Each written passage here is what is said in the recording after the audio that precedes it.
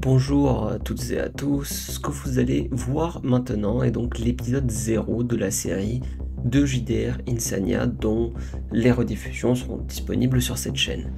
Il mettra un peu du contexte sur les missions qu'ils vont avoir et qui sont les personnages. Sur ce, je vous souhaite un bon visionnage et euh, j'espère que ça vous plaira. Donc, qu'est-ce qu'on est en train de faire là? Qu'est-ce qu'on est en train de regarder? Ce que vous voyez là est ce qui compose les forces spéciales, euh, donc Cerberus 99.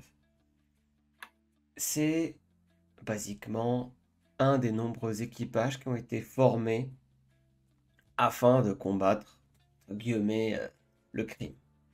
Il y a quelques années de cela, de grands changements ont affecté le monde d'Insania et ont changé à jamais la face de l'entièreté des systèmes Olympus.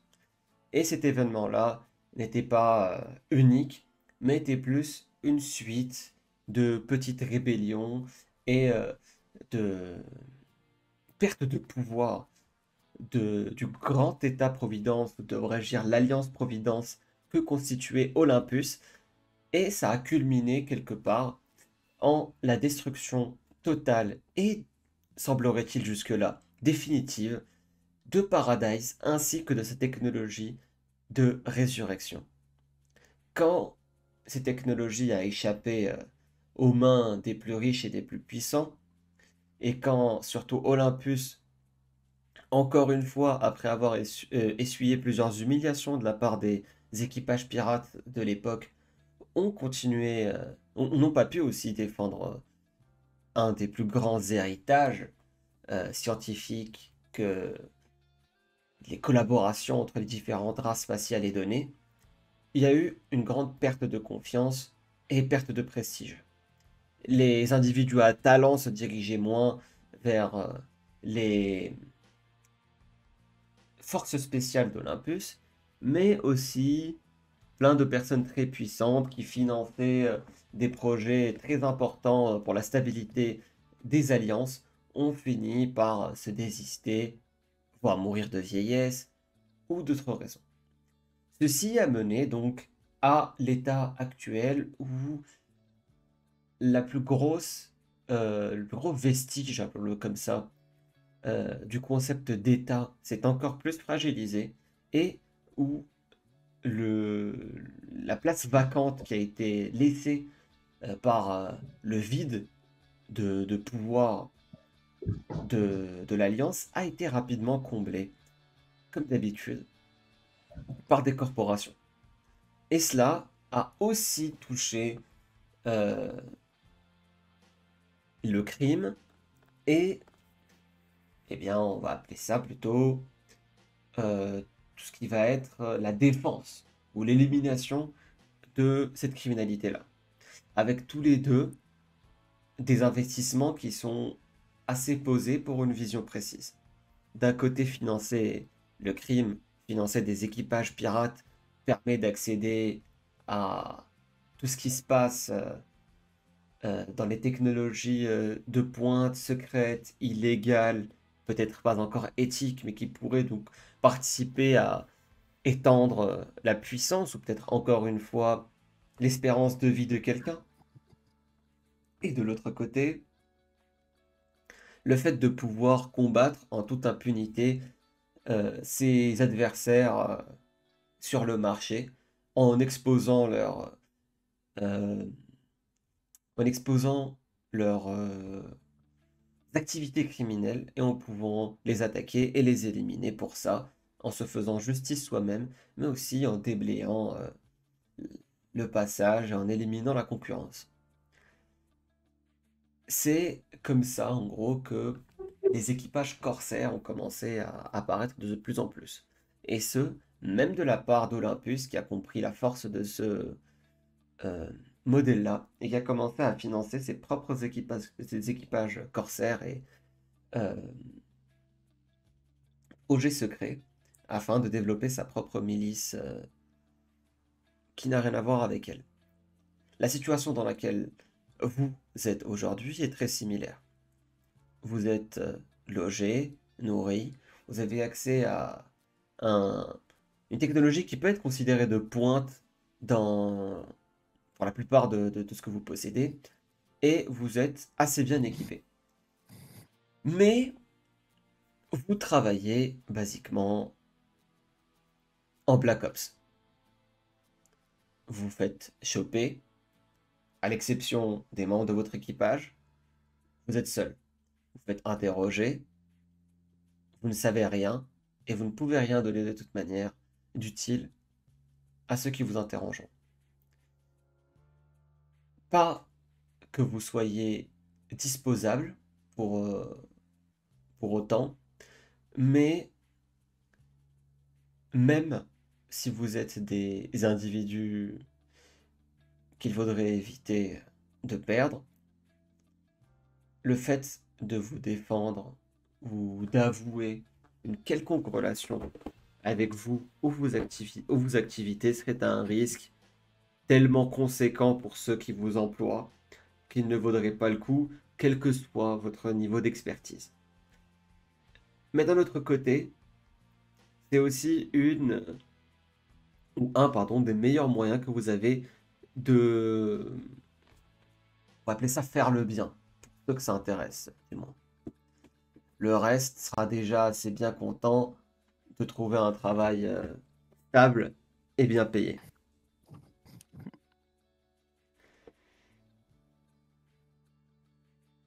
Alors, vous avez tous été recrutés ici pour différentes euh, raisons.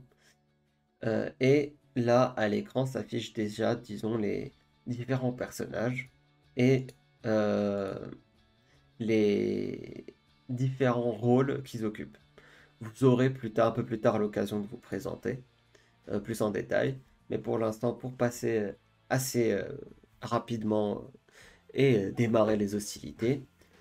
Donc, on a euh, Hydra qui sera le capitaine, Cory l'artilleur et le second, joué par Ebo, Dispo qui sera le médic joué par Sushi, Comet la Teki joué par Elred, et Uriel le, survival, le survivaliste, et Mage aussi, qui sera joué par le J. Euh, et à la gauche, on a Moon le soldat, Rocket le timonier, ainsi que Elissa la hackeuse la star runneuse. La scène qui s'apprête à avoir lieu est euh, la scène de la première rencontre de l'équipage. Vous avez tous été convoqués dans le hub de communication et de réunion du troisième niveau du SCS Charon, votre vaisseau, afin d'inaugurer l'ouverture et la création de l'équipage.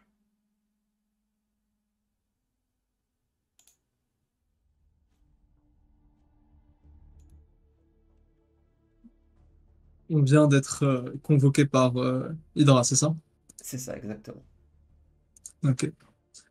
Bah, je vais juste euh, me poser sur le siège à côté de, à côté de Dispo et je, je pourrais pas éviter de, regarder son, son costume qui a l'air, ma foi, assez stylé.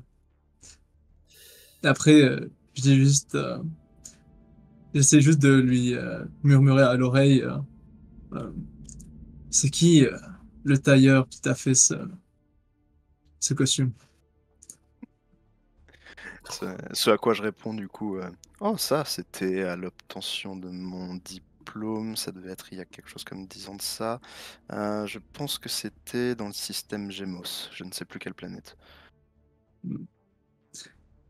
Bien. Il avait bon goût. Il te sied très bien. Merci. Je vais devoir probablement changer d'avis. Je suis absolument poisseux et ça n'a pas aidé de vivre dans des planètes bien à peine habitées. Oh. Et bon. Vous avez... Faut pas être aussi dur avec soi-même. Vous avez Hydra qui se lève avec euh, euh, une euh, tablette euh, dans les mains. et qui s'adresse donc euh, un peu euh, à vous, en vous balayant un peu du regard pour euh, croiser chacun d'entre vous. Ceux qui ont un regard. Pour ceux qui en ont un. Ça va, ça va. C'est un Regarde regard dans des- ressenti pour Tu dois, certains. tu dois bien. Ouais, euh, c'est un regard ressenti. Je te regarde Soyons- dans tes capteurs. Voilà. Ouais, soyons inclusifs. Regarde dans mes capteurs.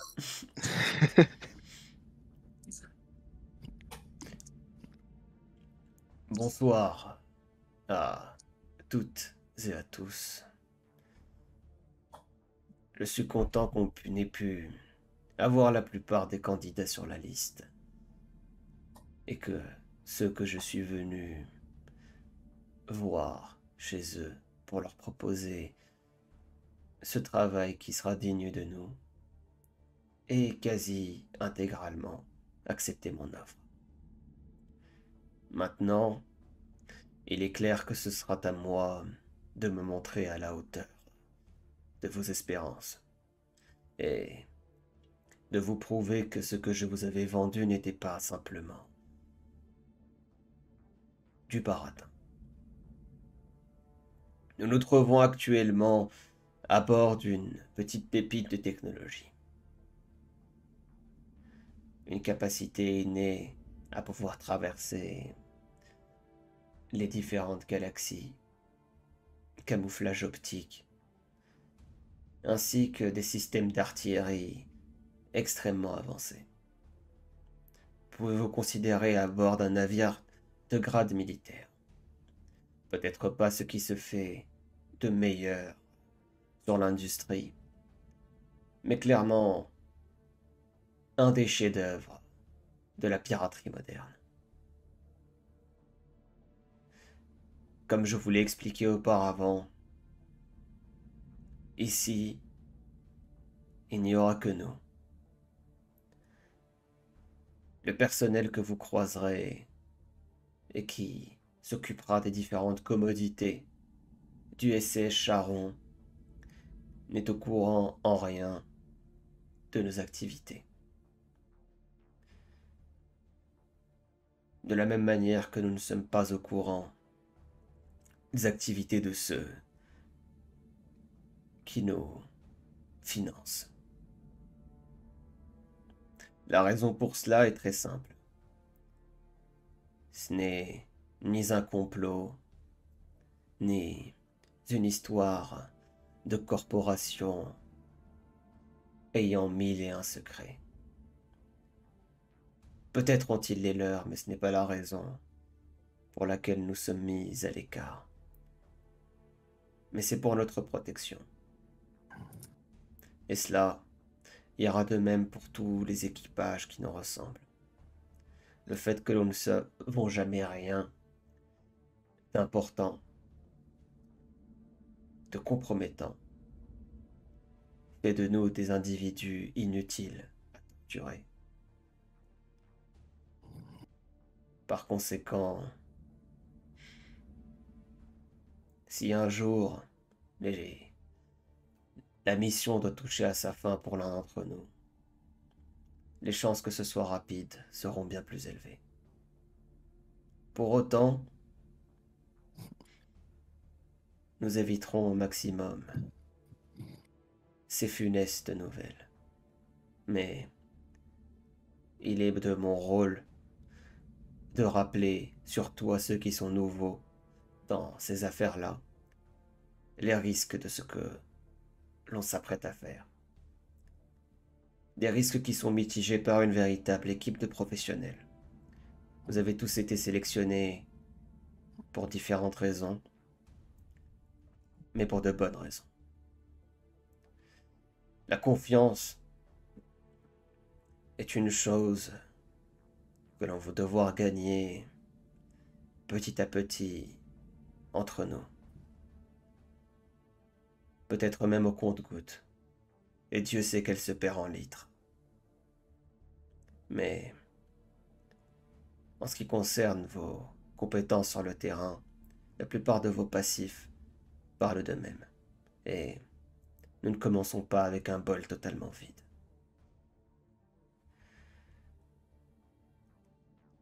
Je vous tiendrai ici même au courant des différentes missions qui auront lieu et de comment est-ce qu'on les exécutera. Mais d'abord, il faut que vous appreniez à vous connaître les uns les autres. Je n'ai pas la prétention de dire que cela va être une deuxième famille. Mais il y a fort à parier que pour la plupart d'entre nous, c'est ce qui en restera le plus proche. Faute d'autres substituts. Bien, j'ai assez monopolisé la parole. Je vous propose un tour de table, que l'on sache, que vous sachiez à qui vous avez affaire. Commençons de droite à gauche, ma droite. Comète. Ouais. Ah, Comet, je suis Teki spécialisée dans les implants, mais si jamais vous avez un problème avec vos armes, vous pouvez venir euh, me voir et je les réparerai ou je les améliorerai. Voilà, il n'y a pas grand chose à dire, j'ai grandi sur Ulysse et. Je suis juste là pour euh, avoir un toit au-dessus de la tête et un peu d'argent. Et Roquette euh, reste silencieux pendant un moment, s'assurer que tu as fini de parler. Je lui donne un coup de coude en mode bah vas-y. Mon nom est Roquette. Et je m'assurerai que ce petit bijou reste en l'air. Il parle du vaisseau de sa sœur. Oui, Juste pour savoir. Quoi du vaisseau, du vaisseau, du vaisseau. Tout le monde reste calme, du vaisseau. C'est là, que ce petit bijou, il reste en l'air. J'ai eu le doute. Il n'y a pas d'air, il n'y a pas d'air dans l'espace malheureusement. Quand on a ramené un pilote de ligne pour euh, une mission spatiale? Le mec, il a mal lu son CV, c'est un pilote de train. Ah, ah merde. C'est pareil. En fait, c'est, en fait, c'est le community man, c'est le, c'est le Instagram manager de, de Ryanair. C'est celui qui fait des mimes euh, incroyables. Avec moi, vous ne risquez rien. Infiltration, exfiltration, destruction et tout ce qui finit par sion, je gère.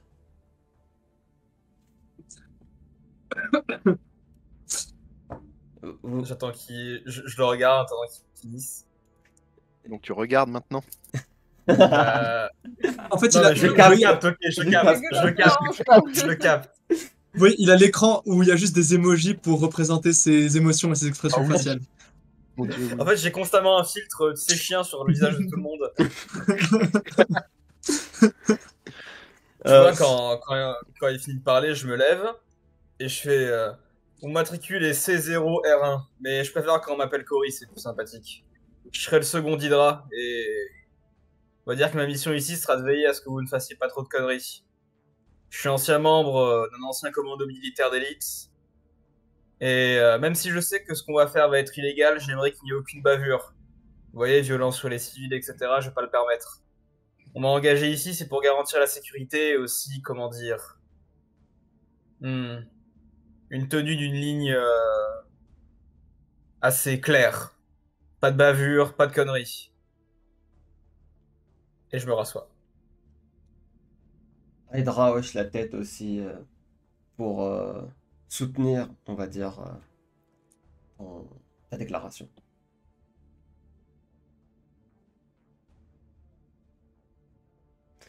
Ensuite, il y a Elissa qui se lève et qui dit Mon nom est Elissa. Je suis une synthétique comme Cory et nous avons un passif militaire très similaire. J'ai abandonné il y a très longtemps mon nom de matricule. Alors il n'y aura pas vraiment de nécessité de le rappeler. Je serai chargé de l'infiltration dans les différents réseaux de sécurité que l'on aura rencontrés. J'ai participé, pour certains aussi, à votre recrutement, et je suis une amie de longue date d'Aydra. Je suis contente de faire votre connaissance. Et je me laisserai à disposition vos différentes requêtes et doutes concernant l'équipage. Cela dit, je vous demanderai de laisser auparavant un message sur mon holocall.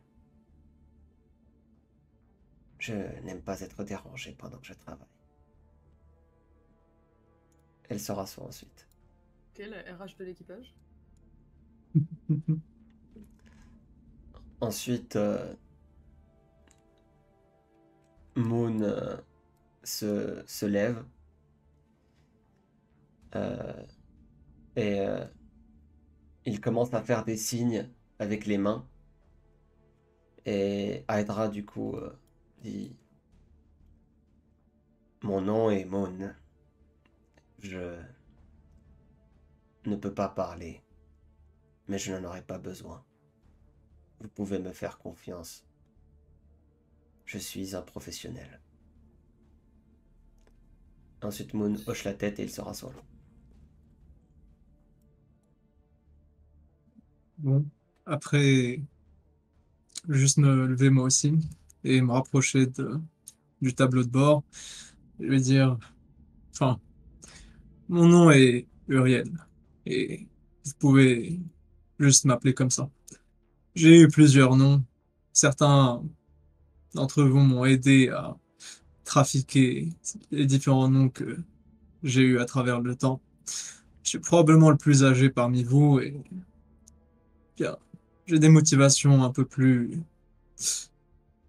privées, personnelles. J'ai fait partie d'un groupe de d'Hermès en formation, puis on m'a abandonné sur Prometheus, laissé pour mort.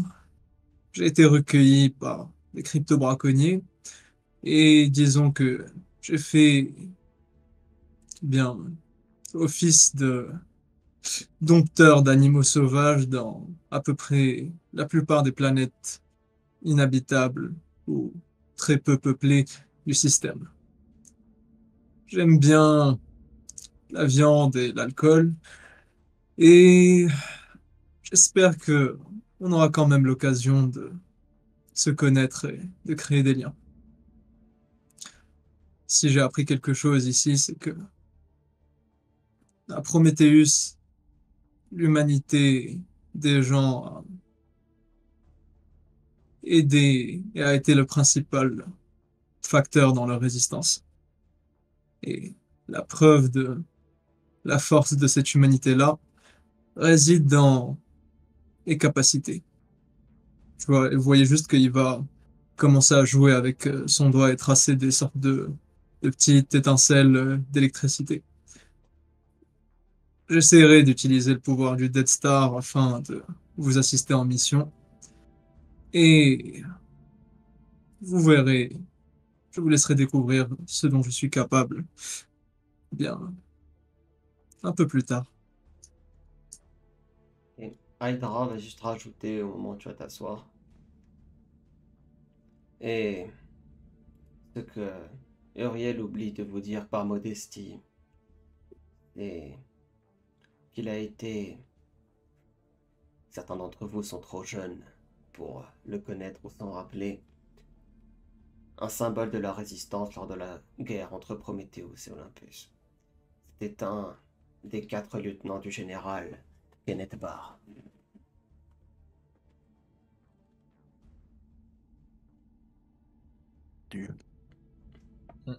Moi, juste, je hoche la tête et je j'évite de. Enfin, je commente pas là-dessus. Je hoche la tête aussi, je fais. Il reste Moi, plus que je- toi du coup dispo.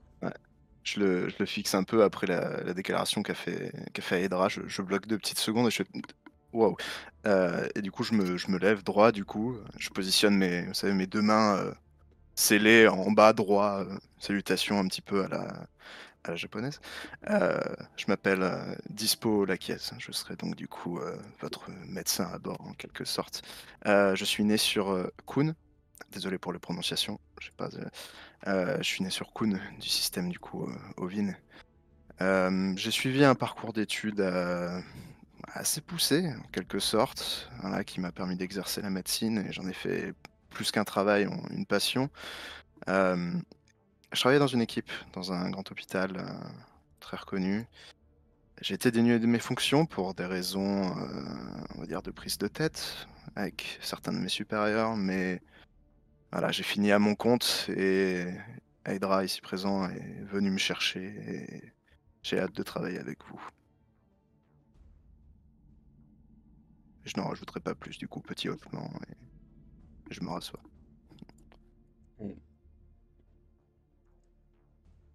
Hydra, du coup, hoche la tête et il dit Eh bien, pour conclure les présentations, il n'est que justice que vous en sachiez plus sur moi.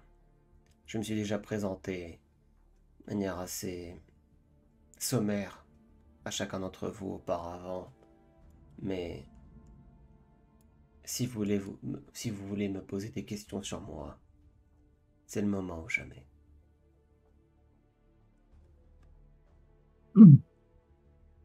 Pas grand chose à poser en particulier. J'ai déjà posé des questions. Ça Donc, va. euh, Je crois que je te Mm. connais assez bien. Pas besoin de poser.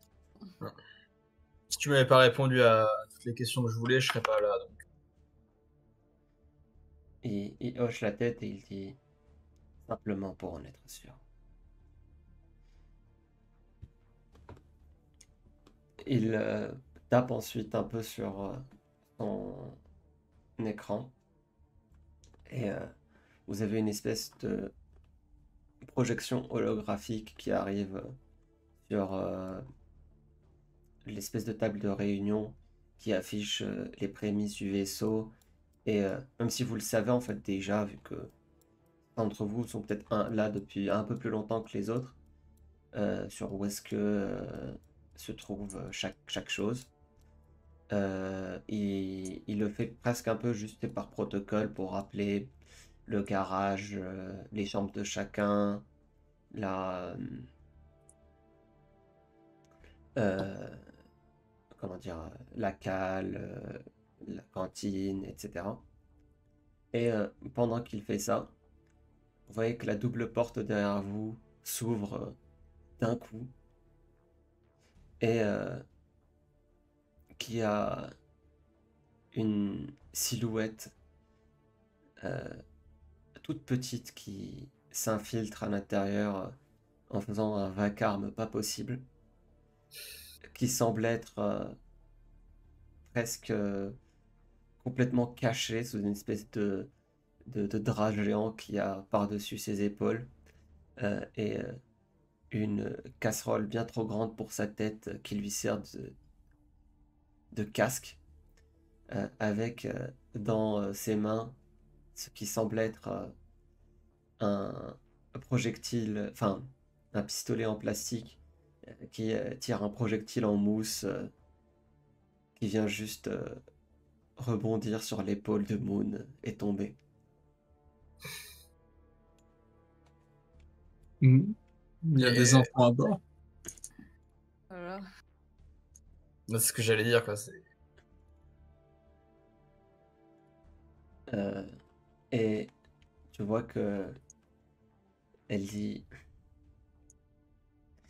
Et moi je suis la vraie capitaine Mix Et on va tous aller faire des aventures pour sauver l'univers tout entier Tu vois, je. J'avais été prévu, enfin, on avait été prévu de ça ou pas? Enfin, moi personnellement. Euh, Qu'il y avait un enfant à bord? Pas spécifiquement, non. Toi, je me retourne vers Hydra et toi, je le. Je le capte, je ne le regarde pas, je le capte. Et je lui dis euh, Qu'est-ce qu'elle fait là? Je vous présente Mix. Il y a quelques années de cela, disons qu'elle n'a plus personne dans sa vie. Et les personnes qui l'ont isolée ne comptent pas la laisser tranquille, elle aussi. Ne, vous n'aurez pas à vous inquiéter d'elle. Elle ne quittera pas le vaisseau, elle sera sous ma protection personnelle. Elle n'aura aucune interférence avec nos missions. Et elle ferait mieux de retourner dans sa chambre. Qu'elle ait une interférence ou pas dans la mission, ça n'en reste pas euh, la place pour un enfant, un vaisseau de guerre quand même. Il n'y a pas de place pour les enfants à Prometheus de toute façon. Hmm. Les gens peu Après, fortunés, les gens peu fortunés vont crever dans, eh bien, des logis où ils ne, vont, ils ne verront jamais l'espoir. Je pense que c'est un acte de bonté qu'il faut respecter. Vu le manque de contexte, Hydra n'a peut-être pas tort. Elle sera plus en protection parmi nous que, eh bien, là où elle n'aura aucune personne qui lui laissera ou lui donnera une chance. Vu qu'elle sent Ah. qu'elle est un peu sur le point de se faire gronder, elle commence à, à partir. Et Tant qu'elle ne... Ouais, tant qu'elle ne met pas en danger la mission et surtout qu'elle ne se met pas en danger elle-même, c'est pas mes affaires. Mais bon, je pense quand même que les choses doivent être dites. je comprends.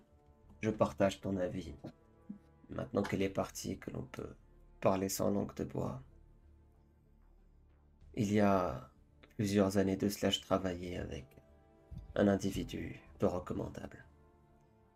À ce moment-là, il n'était pas impliqué encore dans ce genre de travail.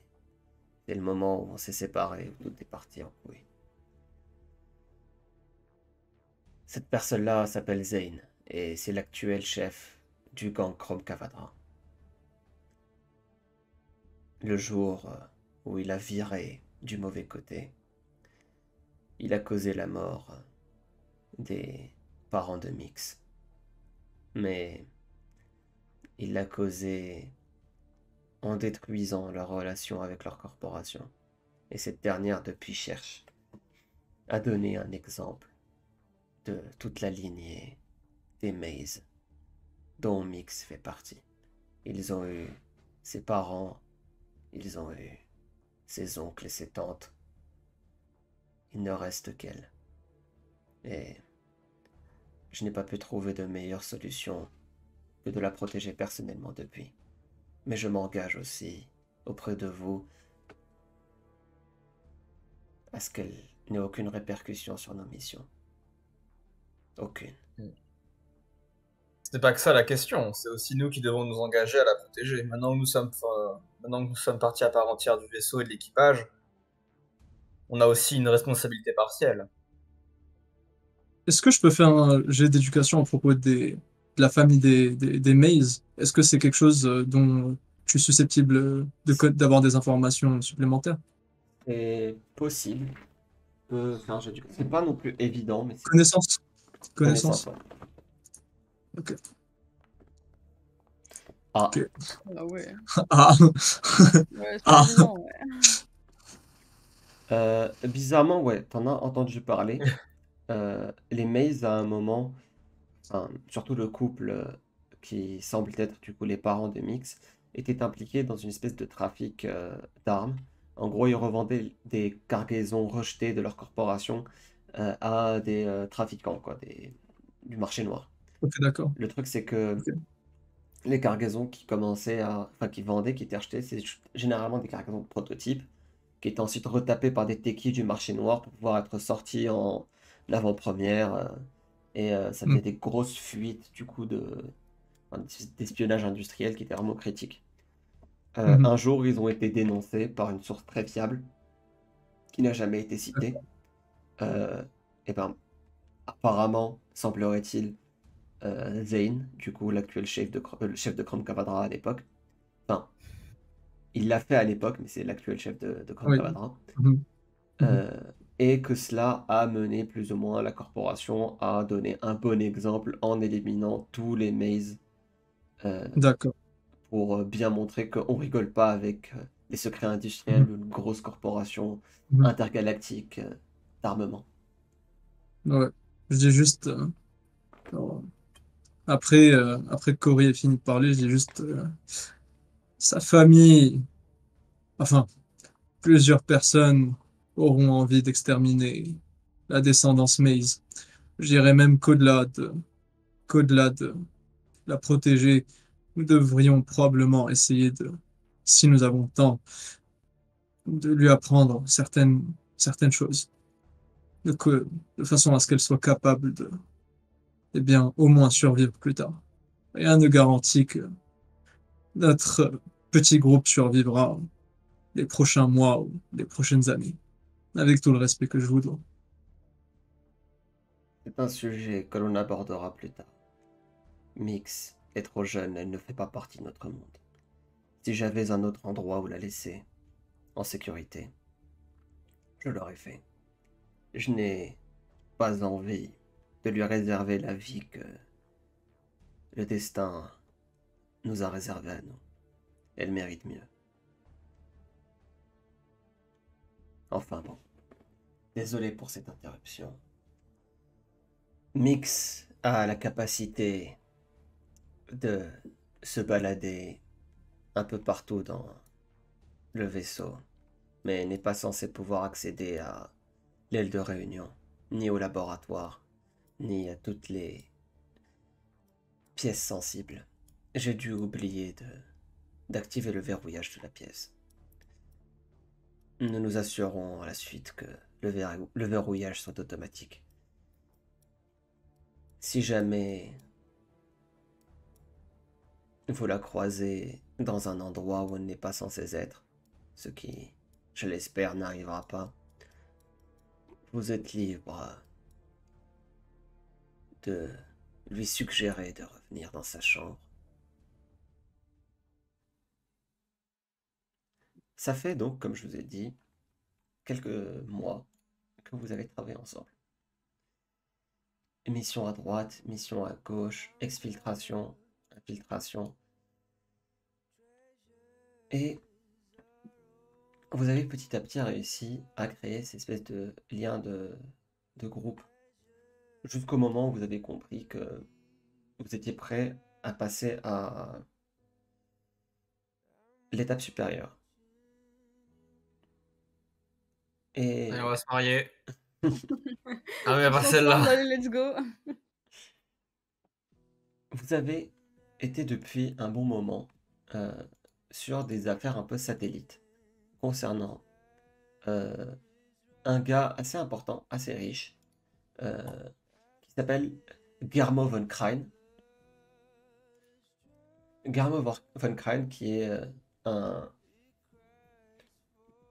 ancien membre du board de, Paradise, euh, qui s'est reconverti euh, dans différents autres euh, entreprises, mais qui n'a pas abandonné l'idée pour laquelle il avait bossé à Paradise.